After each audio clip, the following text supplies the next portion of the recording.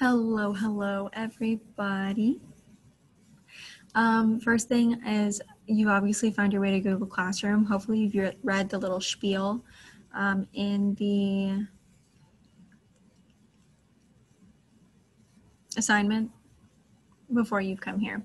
Uh, so this is the first thing on our agenda. We need to go through this quick little PowerPoint, just kind of as a refresher of everything that we learned before that weird snowvid thing happened. Um, so hopefully everyone's okay and ready to get started. Uh, we're going to, again, recover natural selection and then introduce something called uh, carrying capacity and how that affects natural selection and the diversity that we see um, in various species. So every ecosystem contains a finite amount of resources. This means that they have limits. Um, we can't just keep growing and growing and growing and growing. At some point, that growth has to stop.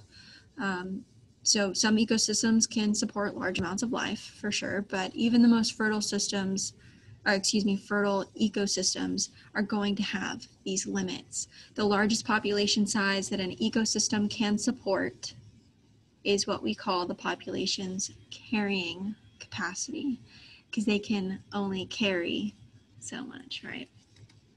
Uh, populations tend to produce more offspring than the ecosystem can support. This may seem uh, harmful, but it actually helps to drive natural selection. So if we take a look at the image below, we've got overproduction, then we have variation. So we have a difference in color for these specific type of, they almost look like elk, not necessarily deer. Um, we'll just call them elk. These individuals have uh, differing characteristics. So obviously the color is different. Some of them are light in color and some of them are dark in color. Then we have selection occurring. So they're either going to be selected for or against. So remember natural selection is all about the survival of the fittest. Which of these elk has the best um, the best adaptations, the best characteristics to allow them to survive in their environment. I'd imagine since only the light colored elk there are dead, that the dark brown uh, elk are more suited to that environment. And then, of course, we see adaptation as our fourth and final step in this image. Adaptation, the traits those individuals that survive, they'll carry them on and then they'll pass them on to their own children. Okay. Now, take a look at the graph up in the top right-hand corner. This is generally what carrying capacity looks like.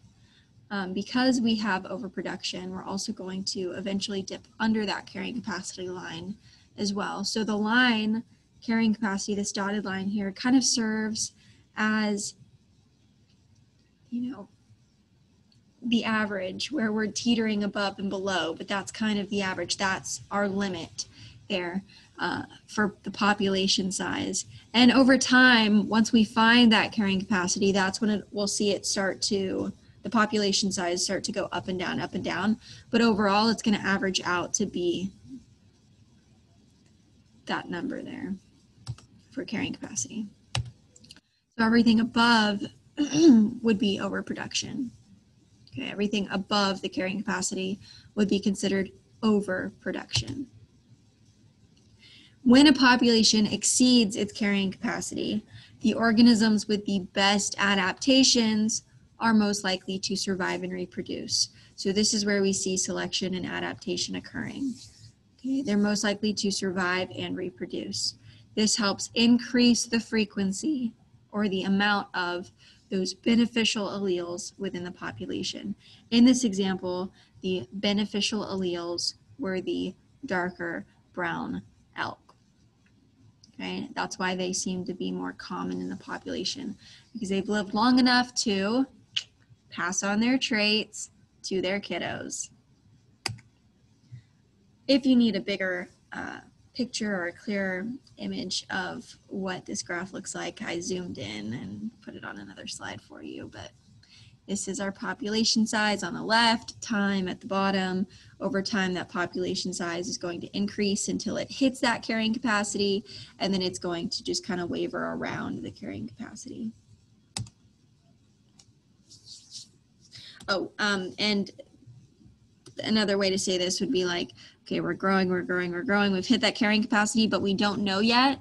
Then we realize, wow, there's too many of us in this population, and then some of us die because there's not enough food, or there's not enough shelter or water, or we can't protect ourselves, right? That's when selection starts to occur.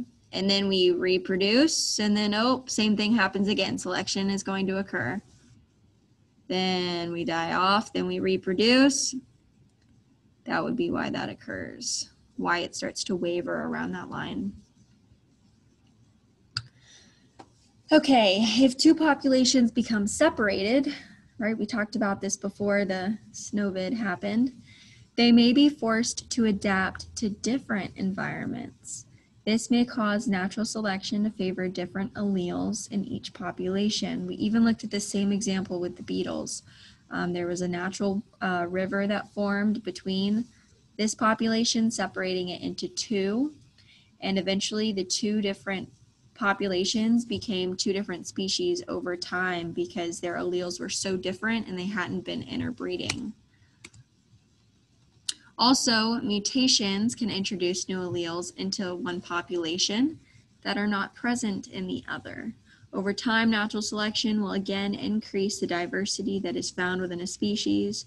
So what we also had noted last time was that the species up at the top has more green alleles and that of course increased in frequency while the population below had a lot of lighter colored alleles kind of like the yellow pink white um, and that also increased in frequency as we can see uh, at the end result there.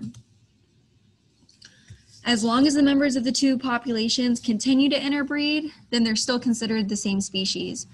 But a species contains all of the organisms that reproduce and create fertile offspring. If they can't, if they're not continuing to reproduce together, if they're not, um, if that's if that's not happening, then yes, over time they can become very different genetically. And if they were to re reunite and start to try to reproduce again, it wouldn't it wouldn't amount to much. because they're two separate species. Um, so it, they wouldn't produce any fertile offspring anymore. Uh, I brought up the example in the past about mules and not mules, donkeys and horses. Donkeys and horses have um, become so different over time, a lot of time. And you can physically see these differences now as well. Donkeys are quite short, have the, yeah, you guys know donkey and horse.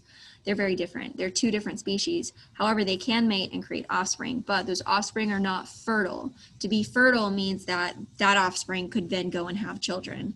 The mule, which is created from a donkey and a horse, we get a mule. A mule is not fertile. It cannot have kids of its own. Fun fact of the day if you uh, didn't know that.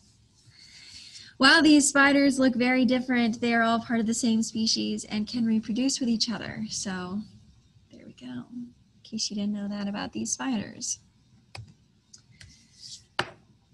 Sometimes two populations become adapted to different environmental conditions and the variations within the population will cause them to no longer interbreed. When this happens, the two populations are considered different species. Again, and here we have an example, two species of squirrel that have adapted to different regions, Harris's antelope squirrel and the white-tailed antelope squirrel. It looks like they were separated by a canyon and a river, which probably caused the original selection and adaptations to occur. We also saw this with Darwin's finches. Some were used to hunting for things on the ground, um, while some lived in bushes and trees and they were able to get food and resources from that higher up region. Uh, which is why we had so many different types of finches because they were all used to different areas of the island, um, kind of like different environments almost, where they could get their own resources that they had adapted to. Oh, here we go.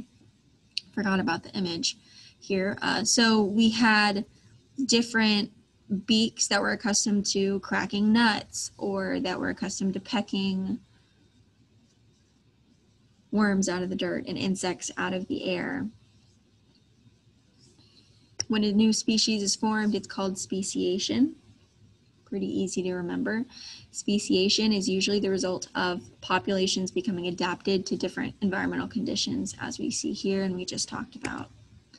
Finches are a type of bird in the Galapagos Islands. We talked about that. We've already discussed how a small population of finches had migrated to these volcanic islands off the coast of Ecuador and how they all had different beaks, which were accustomed to the specific um, area that they were in.